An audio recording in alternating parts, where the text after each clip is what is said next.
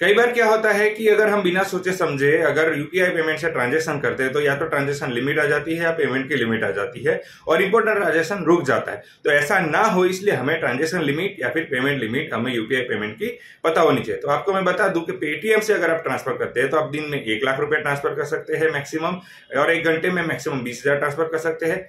Per hour आप पाँच transaction कर सकते हैं और पूरे दिन में बीस ट्रांजेक्शन कर सकते हैं। इसी तरीके से आपको गूगल पे की बात करूँ तो गूगल पे में भी आप एक लाख रुपए ट्रांसफ़र कर सकते हैं, लेकिन पूरे दिन में आप केवल दस ट्रांजेक्शन कर सकते हैं। इसी तरीके से आपको मैं अमेजोन पे की बात करूँ तो आप अमेजोन पे से अगर ट्रांसफ़र करते हो, वो भी आप एक लाख रुपए ट्रांसफ़र कर सकते हैं। और अगर मोस्ट पॉपुलर फ़ोन पे की बात की जाए तो उसमें भी आप हर दिन एक लाख रुपए ट्रांसफ़र कर सकते हैं मैक्सिमम हर घंटे में बीस हज़ार मैक्सिमम ट्रांसफ़र कर सकते हैं। पर आवर पाँच ट्रांजेक्शन कर सकते हैं या पूरे दिन में बीस ट्रांजेक्शन कर सकते हैं। तो आपको ये लिमिट ध्यान रख के ही ट्रांसफ़र करना है ताकि कोई भी इंपॉर्टेंट आपका जो ट्रांजेक्शन है वो रुक ना जाए।